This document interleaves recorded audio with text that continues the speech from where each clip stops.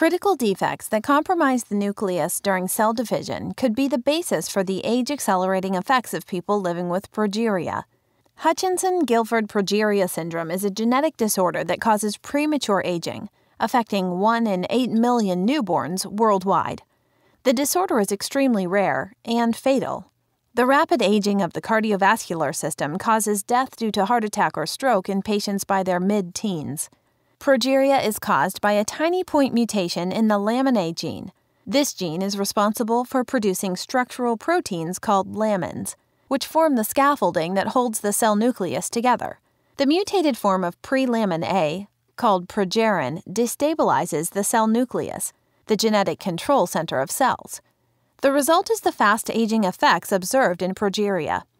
But the link from gene mutation to physical disorder has remained a mystery. Previous studies have looked only at models of progeria, not at actual patient cells, or they've tracked progerin only through the stages leading up to cell division. Now, researchers have followed progerin as it wreaks its disruptive effects on the cells of patients with progeria throughout the entire cell division process.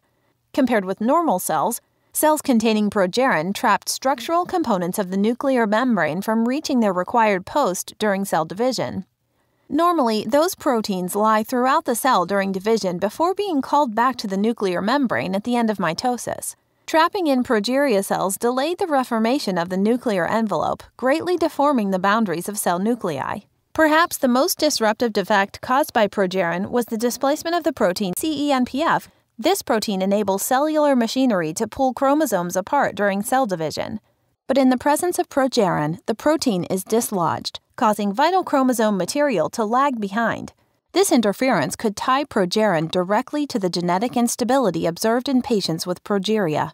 As the intrusive effects and amount of progerin in the cell accumulate with each round of division. Because of sequence similarities between progerin and CENPF at their terminal end, Protecting CENPF could be one way of preserving genome integrity in patients with progeria.